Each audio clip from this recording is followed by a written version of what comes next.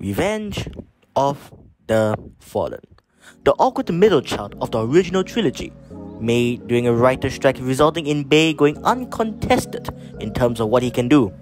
This led to lots of problems that we are not going to touch. What we are going to talk about is a character born from the film. Sideswipe. Clear a path. As you saw, he had an awesome entrance with a unique transformation to boot. His ensuing confrontation with Sideways cements him in the minds of many. His slight unconventional robot design is translated almost perfectly into toy form. Back of the car as his chest, wheels for feet like a rollerblader, and his iconic arm-mounted blades, looking ready to slice up the annoying licensed vehicle. Head looks off in comparison to the CG model. Toy Form's head looks more youthful, innocent, naive, contrasting the CG model's older and more experienced look. Just look at his recreation of the Mexican standoff. Movie version knows what he's doing. Toy version, on the other hand, looks like he's nervous of fucking it up. I mean, you gonna trust this face? This face with the eyes of naivety, whatever that means. I wouldn't. This next bit does worry me a little. See this joint here? It's clear plastic. Clear plastic is known in the fact to be brittle, but this is very thick and does not look to be fully transparent, so hopefully that means it will hold up. Balancing him can also be hard due to his unique feet back wings are also bigger here compared to the movies, something the Studio Series version has over it. That doesn't mean it is inferior though, because as an overall package, it is a great toy. And you already saw it, but he isn't as dynamic in poses as I want him to. But his articulation is serviceable. Ball jointed head allows for a 360 rotation and down side to side movement. Arms got only this far and bend at the elbow 95 degrees and no elbow swivel. However, due to transformation there is a butterfly joint movement.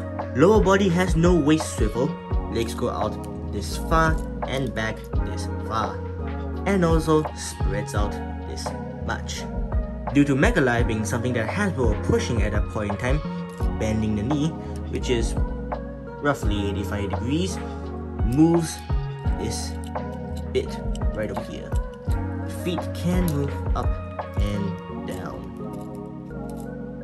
Ow. Careful though. As I said, serviceable. Now, onwards to transformation.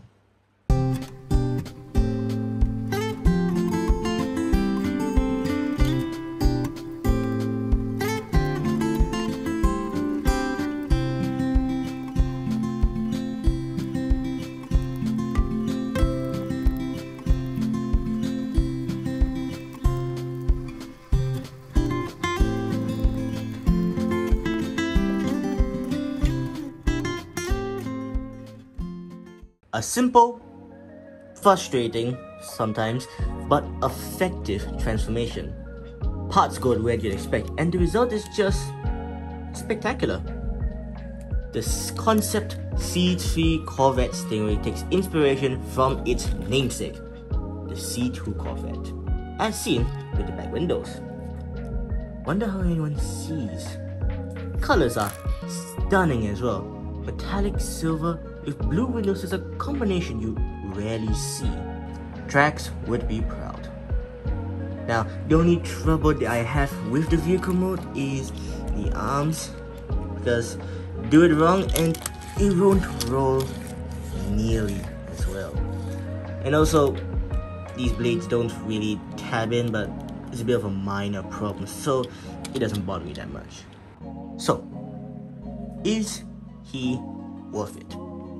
Yes, sort of. You can find him for a pretty good price, and he looks great next to your movie figures. Studio Series Scale Junkie, this will not do for you. Everyone else? Well, you decide. I personally wanted him because, come on, look at this. A sweet ass car that transforms into a sweet ass looking robot. In his words, Damn, I'm good. thanks for watching, all two people who didn't leave. Bye.